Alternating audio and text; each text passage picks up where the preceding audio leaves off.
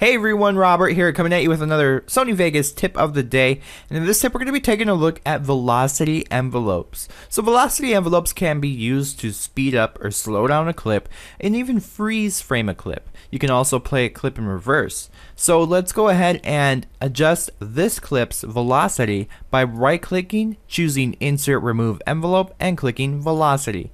This brings up the green velocity envelope line and we can speed up or slow it down down wherever we want. So let's say right here in the beginning, I want to speed this part up. So I'm just going to simply drag the velocity envelope up to around 200 and uh, let's see, maybe 300% all the way up. Okay, so what I did there was I basically just highlighted the part that I wanted to adjust and brought it up. You can also double click to add anchor points if you need to. So let's go ahead and preview this real quick. It's slow and then it speeds up and then it slows back down. So right here, I can actually highlight this section and I can make it slow way down. So around 4%.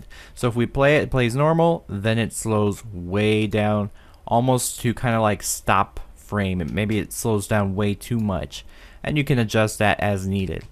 Alright, so if you want to reverse the clip, you can just highlight a section or double click, create anchor points, and bring this down to below 0 to the negative numbers and now this is reversing. So if I go to negative 52% let's say I want negative 50% all I have to do is hold control to move and find increments and I can move that to negative 50% so when I preview this it plays forward then it backs up in reverse and then it goes forward again.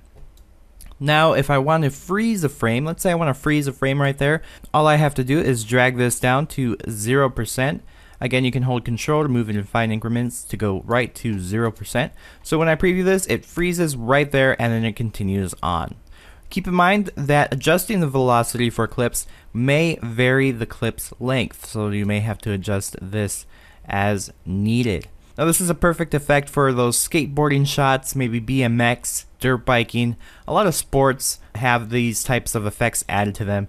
So there you have it, velocity envelopes here in Sony Vegas.